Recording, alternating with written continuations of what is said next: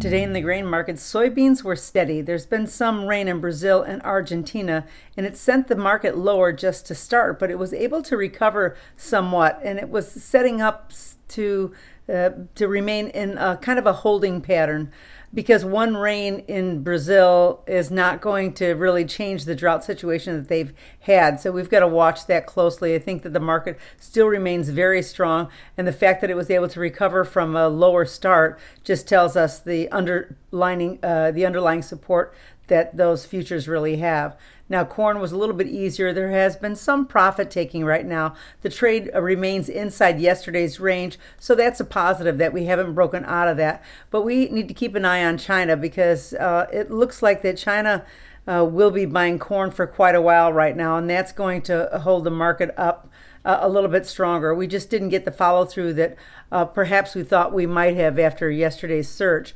Now, wheat was lower. I think export sales uh, were a little bit of a disappointment, and uh, they it hit the uh, marketing year low as well. Now, weather in the in the southern plains has been kind of beneficial right now, and it's basically helping the winter wheat before it goes into dormancy. So all those things are a little bit bearish and kind of weighing on that market.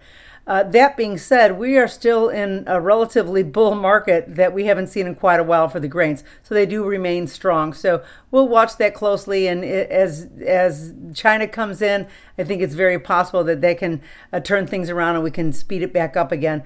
Uh, we are a long way away from any kind of a correction at this point.